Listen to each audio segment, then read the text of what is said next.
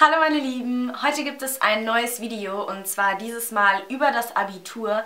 Ganz, ganz viele hatten sich das gewünscht, nachdem ich vorgeschlagen hatte, dass ich ja nach meinem Abitur noch ein Video übers Abitur drehen könnte. Denn ich habe auch schon eins vor meinem Abitur bzw. in der Vorbereitungsphase gedreht. Das kann ich euch gerne mal in der Infobox verlinken. Da habe ich euch genauestens erklärt, wie ich mich darauf vorbereite und was ich so mache. Deswegen werde ich das in diesem Video zwar auch ansprechen, aber nicht so intensiv wie in dem Video, weil ich das einfach alles schon gesagt habe. Aber ich werde einfach so grundlegende Fragen, die wahrscheinlich jeder hat, beziehungsweise die ihr mir auch gestellt hat, habt, beantworten. Und ich habe das jetzt gegliedert in vor dem Abitur, während dem Abitur und nach dem Abitur. Und ich würde sagen, wir legen gleich mal los und ich wünsche euch ganz viel Spaß bei dem Video. Zunächst wollte ich gerne sagen, dass ich meinen Abiturschnitt weder in diesem Video noch irgendwo auf Instagram oder sonst was preisgeben werde. Ich finde es einfach unnötig, euch meinen Abischnitt zu sagen, weil ich nicht verstehe, was euch das bringen sollte. Ich meine, ihr solltet euch meiner Meinung nach nicht daran orientieren, was ich habe oder ähm, keine Ahnung, was für Noten ich insgesamt so habe, weil jeder Mensch da anders ist. Und ich kann nur sagen, ich bin zufrieden mit meinem Abitur und ähm, für mich ist das alles so gelaufen, äh, wie ich es mir ungefähr vorgestellt habe. Und ich äh, finde einfach, mehr muss man dazu nicht sagen. Ich hoffe, ihr versteht das, weil ich weiß nicht, ich finde einfach, das ist so mein Abiturschnitt und deswegen ist es eigentlich auch völlig unwichtig, was ich habe, weil im Endeffekt zählt ja eure Leistung und ja, das wollte ich auf jeden Fall gesagt haben, weil diese Frage so häufig kam. Zunächst ist es vielleicht ganz wichtig zu wissen, ob ich von Anfang an vorhatte, mein Abitur zu machen. Und ich hatte eigentlich schon ab der Grundschule immer das Ziel, dass ich mein Abitur machen will. Ähm, bis ich dann in die 10. Klasse kam, da hatte ich dann einfach für einen Moment lang genug von der Schule und dachte mir, okay, nach der 10. höre ich auf und mache eine Ausbildung. Und deswegen, ich wollte eigentlich schon immer mein Abitur machen, aber ich glaube in der 10. hat jeder so einen kleinen Durchhänger, wo man sich so denkt, ich möchte nicht mehr in die Schule gehen. Ich will, dass es so schnell wie möglich vorbei ist. Und deswegen dachte ich mir da kurz, für einen kurzen Moment, okay, ich mache es nicht, aber im Endeffekt war es mir selber auch irgendwo klar, dass ich es trotzdem machen werde.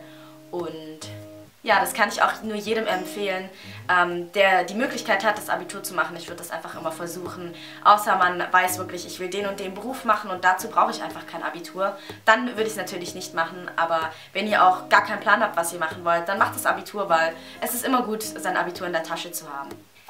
Dann zu meinen Leistungskursen. Ab der 11. hat man ja dann nur noch Kurse, also Leistungskurse. Und meine Leistungskurse waren Mathe und Deutsch. Also das war bei uns immer so, das musste man haben. Mathe und Deutsch hatte jeder. Ich weiß, das ist in manchen Bundesländern anders geregelt, aber bei uns ist es leider so, dass wir Deutsch und Mathe auf jeden Fall machen müssen. Und dann hatte ich noch Englisch und äh, Wirtschaft. Und Englisch, da hätte man zum Beispiel auch Spanisch oder so wählen können. Aber ich habe mich für Englisch entschieden und Wirtschaft habe ich gewählt, weil ich mich schon immer für wirtschaftliche Abläufe interessiert habe und allgemein das einfach total interessant fand. Und ich hatte das Glück, dass meine ganzen Freundinnen oder die meisten meiner Freunde das auch gewählt haben. Das heißt, dass ich dann mit denen in einem Kurs war. Und ich habe aber auch von Anfang an gesagt, ich werde Wirtschaft wählen und selbst wenn ich die einzige von meinen Freundinnen bin, die das wählt, ich werde das trotzdem wählen. Mir egal, ob ich allein in diesem Kurs bin und keine Freunde da habe. Hauptsache, ich kann dieses, äh, dieses Fach wählen. Und das würde ich euch auch empfehlen. Es gab bei uns auch einige, die aufgrund ihrer Freunde einen Leistungskurs gewählt haben und im Endeffekt gemerkt haben, dass es überhaupt nichts für sie ist und dass sie es im Endeffekt einfach nur bereuen, das gewählt zu haben. Und deswegen lasst euch nicht irgendwie von der Entscheidung eurer Freunde beeinflussen, weil das kann euer Abitur verschlechtern oder verändern, wenn ihr einen Kurs wählt, den ihr eigentlich gar nicht machen wollt, aber dahin geht, weil eure Freunde das machen. Also in dem Sinne ist es total egal, ob eure Freunde dahin gehen oder das machen. Macht einfach das, was ihr für richtig haltet oder was ihr glaubt, was zu euch passt, was euch Spaß macht und wo ihr am liebsten äh, im Kurs sitzen würdet, weil das werdet ihr auch die nächsten zwei Jahre dann durchziehen müssen und von daher lasst euch da nicht aus der Ruhe bringen und überlegt einfach euch genau, was macht mir Spaß und was würde ich gerne machen, ohne zu beachten, wer sonst gerne auch das macht. Dann kommen wir jetzt auch schon zur Vorbereitung. Ich wurde ja quasi diese zwei Jahre auf jedes Fach äh, vorbereitet, weil der ganze Stoff der zwei Jahre ähm, durchgenommen wurde in allen Fächern, kommt dann in eurem Abitur dran. Und ich habe dann in den Weihnachtsferien damit angefangen, mir Zusammenfassungen von jedem Fach zu schreiben.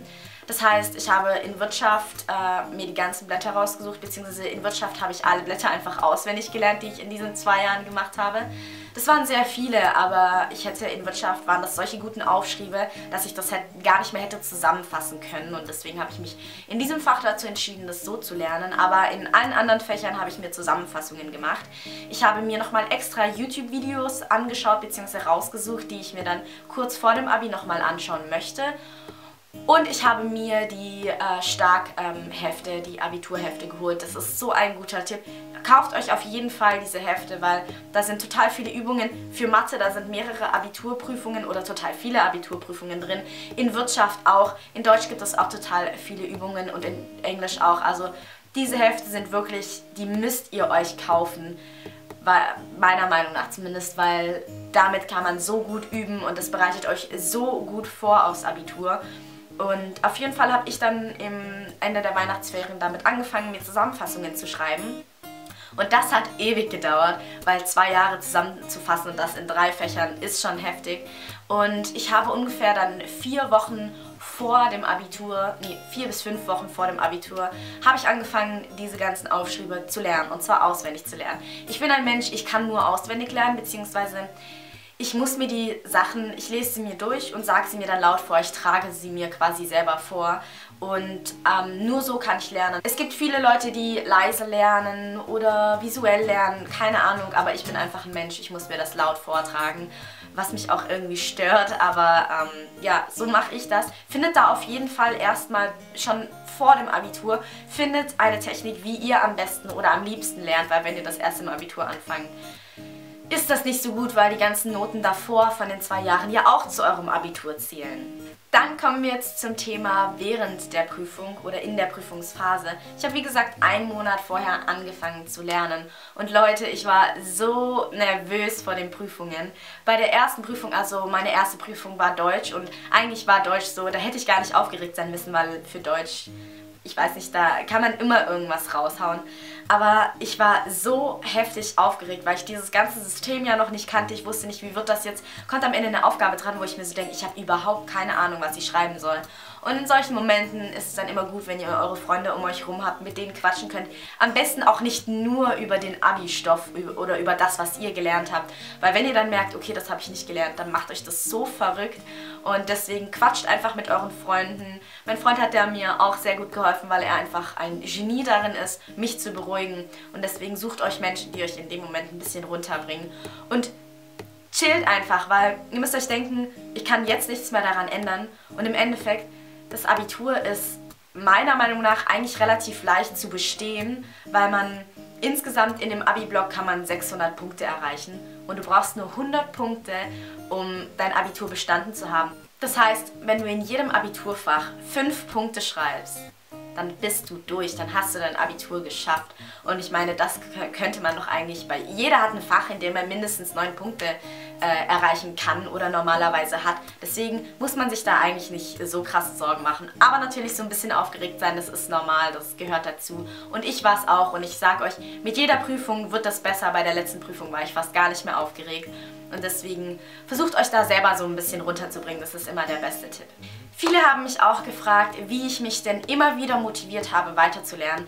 Denn in diesen vier Wochen habe ich wirklich jeden Tag so gut wie durchgehend gelernt. Ich habe am Wochenende fast gar nichts mehr gemacht und da ist es natürlich klar, irgendwann hast du keine Lust mehr. Und ich habe mir dann aber einfach immer gedacht, so ganz ehrlich, diese drei, vier Wochen, das ziehst du jetzt einfach noch durch, weil erstens, du willst ein gutes Abitur haben und zweitens, danach bist du einfach komplett frei. Danach musst du nichts mehr lernen, zumindest für eine gewisse Zeit. Und danach kannst du einfach sowas von chillen, dein Leben genießen. Also häng dich jetzt einfach noch kurz rein, weil danach wirst du es bereuen, wenn du es nicht gemacht hast. Und wenn du es gemacht hast, dann bist du stolz darauf, dass du jetzt einfach feiern kannst und nichts mehr tun musst und aber vorher richtig Gas gegeben hast. Gelernt habe ich übrigens eigentlich nur alleine. Also ich habe nie mich mit mehreren Leuten getroffen, um zu lernen, weil ich das nicht kann, weil ich so nicht lernen kann. Ich muss mir, wie gesagt, meine Sachen laut vorsagen. Oder zum Beispiel Mathematik habe habe ich oft mit meinem Freund gelernt, weil er ziemlich gut in Mathe ist und er mir viel erklären konnte und wir haben dann immer zusammen Übungen gemacht. Und wenn er was nicht gewusst hat, dann habe ich vielleicht was gewusst und so haben wir das gemacht. Aber die meiste Zeit habe ich eigentlich alleine gelernt, weil ich das nur alleine kann. Wenn ihr lieber mit anderen Leuten lernt, dann lernt auf jeden Fall mit anderen Leuten zusammen. Aber macht da einfach genau das, was ihr glaubt, wie ihr am effektivsten und am besten lernen könnt. Also die mündlichen Prüfungen sind nicht so anspruchsvoll meiner Meinung nach wie die schriftlichen, zählen aber natürlich auch weniger als eure schriftlichen Noten. Ich glaube, das zählt nur ein Drittel, die mündlichen, aber natürlich könnt ihr damit auch extrem viel raushauen und euren Schnitt nochmal verbessern. Und dann kommen wir auch schon zu dem Thema nach dem Abitur und da wollten einige, dass ich so ein kleines Resümee ziehe, wie denn das Abitur war, ob ich es mir genauso vorgestellt hatte oder ob es schwerer oder leichter war. Im Endeffekt hatte ich mir das Abitur ungefähr so vorgestellt. Das Einzige, was ähm, mich extrem enttäuscht hat, war Mathe, weil ich für Mathe wirklich so, so viel gelernt habe und die anderen Matheprüfungen, die in dem Starkheft waren, auch eigentlich mittlerweile gut lösen konnte.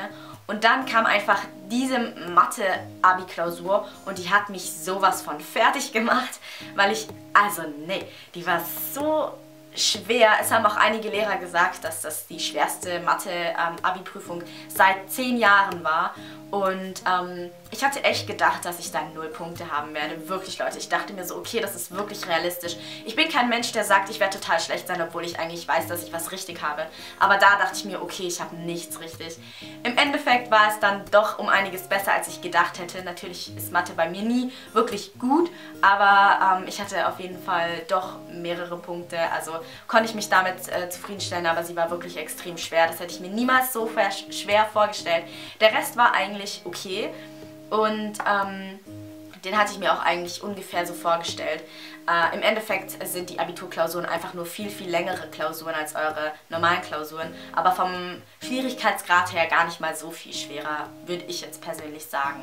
Und dann habe ich auch noch ganz oft die Frage bekommen, ob ich mein Abitur nochmal versuchen würde, um besser zu werden. Und ganz ehrlich, Leute, nein, ich würde es nicht nochmal machen. Ich bin froh, dass ich jetzt, es jetzt hinter mir habe. Ich finde, einmal reicht. Dieses eine Mal kann man auch wirklich alles geben. Aber wenn ich das jetzt alles nochmal machen müsste, dann würde ich einfach, da hätte ich einfach keine Lust mehr drauf. Um ganz ehrlich zu sagen, ich hätte keinen Bock mehr drauf, mich nochmal so intensiv mit allem zu beschäftigen, nochmal so viel zu arbeiten, wochenlang nur zu lernen.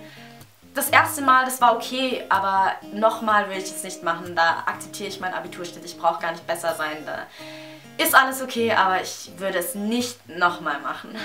So, und das war's jetzt auch schon mit meinem Video. Ich hoffe, ich habe alle eure Fragen beantworten können. Falls nicht, stellt die mir gerne in den Kommentaren. Ich werde auf jeden Fall versuchen zu antworten. Und ansonsten hoffe ich, euch hat das Video ein bisschen weitergebracht. Und falls ihr nächstes Jahr euer Abitur macht, wünsche ich euch jetzt schon mal ganz viel Glück. Und dann würde ich sagen, sehen wir uns beim nächsten Mal wieder. Tschüss!